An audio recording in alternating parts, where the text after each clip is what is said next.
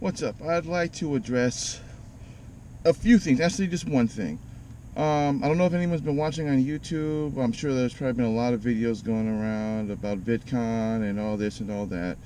And, um, well, it being my first time going, I had absolutely no clue. I mean, I sort of, I mean, I, I knew what it was a little, but I didn't really know the whole stigma behind it, you know, like, uh, you know, people having beef with this, people having beef with that, you know, because it's, it's, just social media. So, you know, you're expecting some people are not going to like somebody, and, you know, someone's not going to like this person. So, you know, then you just kind of leave it at that.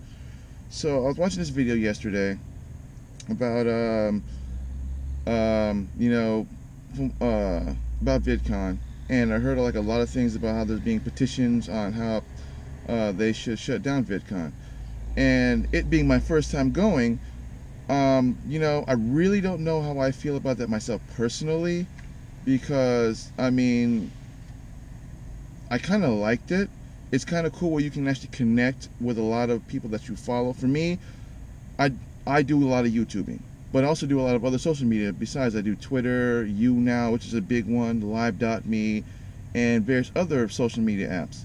And so when you shut down an avenue, something like that, it kind of makes it hard for you to like want to meet some of these other people at social gatherings like that because granted it's one thing to like see them when you're chatting with them or just you know chatting with them on uh you know on these media apps versus actually physically seeing them and actually getting an actual conversation beyond just typing and whatnot.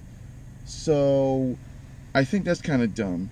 But then on the same token you get um these idiots that come in there. And i understand you know it's you know it's a social media platform and you get to meet all these big people and whatnot. But i don't know if you heard about this one guy chris whoever his name was. Um, someone posted a video on him.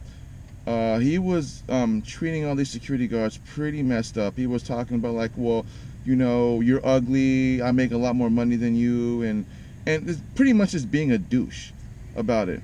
And in the long run who was the guy really I mean, if I were to go and ask, you know, if I were to know if I knew who the guy's name was, that showed you how much I don't know who the guy is.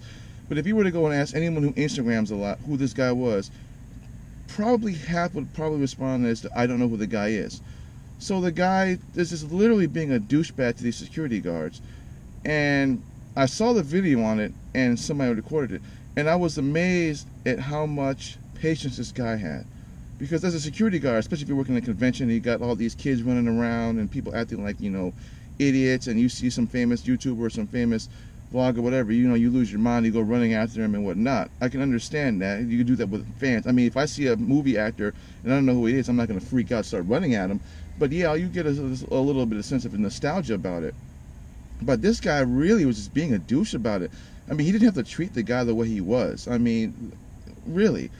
And, you know, granted, I mean, I heard there was like, you know, security guards, you know, choking out uh, famous or other YouTubers and all these other famous people. That I don't know about that. I know that there was a fight going on. I heard someone got banned in that. Um, that happened like a day before I, um, day before I got there, and whatnot.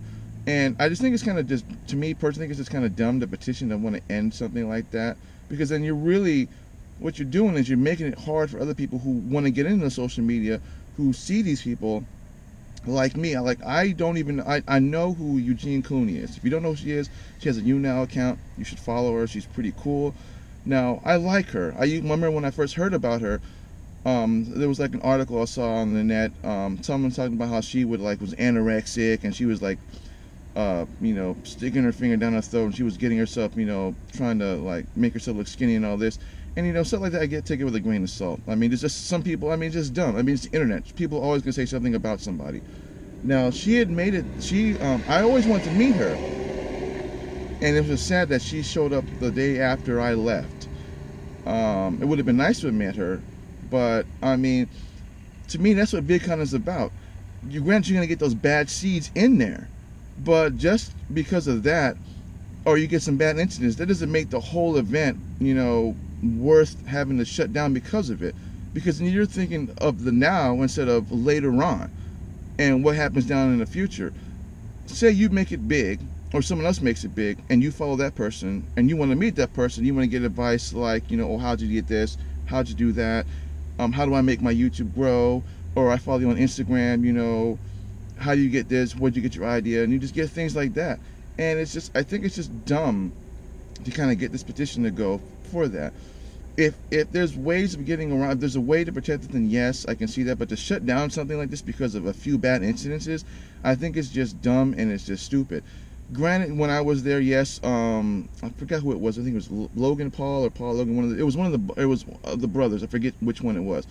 We were at the hilton sitting down.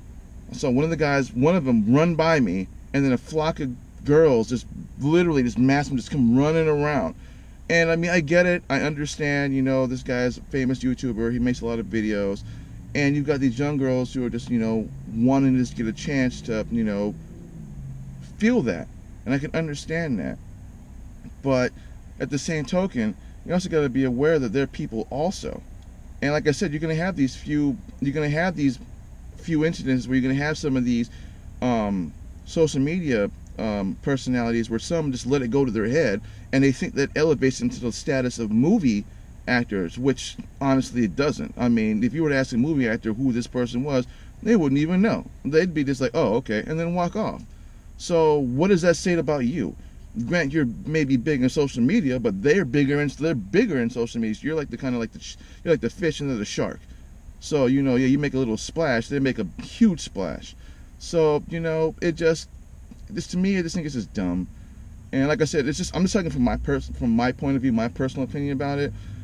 I this is my first time going. I'm going again next year. Hopefully this doesn't happen next year. Hopefully there will be a VidCon next year. But I think there will be because I just bought my I'm going to buy my pass, uh, creator pass this year, next year, and I really want to go and I really want to meet more people that I didn't get a chance to meet this year. And you know, if if there's ways of trying to protect these kids at the same time making sure that these vloggers don't do anything stupid, then yes, do something about that.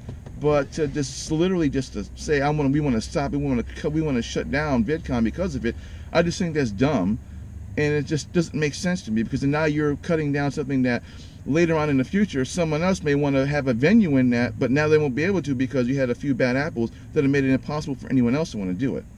So that's just that's just my personal opinion about it. So I mean, what do you think about it? I mean, you got any opinions about it? Do you think they should? You don't think they should? Leave a comment. Uh, leave a comment. Um, subscribe, like my videos. And but no, but seriously though, just tell me what do you think about this? Do you think they should? What do you think they should do about it? What are your ideas on what they can do to kind of make it a little bit more less strenuous for you know these you know for just the the convention itself, making it easier for everybody, so that everybody has a great time without having to worry about, gosh, there's some douchebag that's going to screw it up for everybody else or, you know, something like that. So leave a comment. Thanks for watching. See you next time.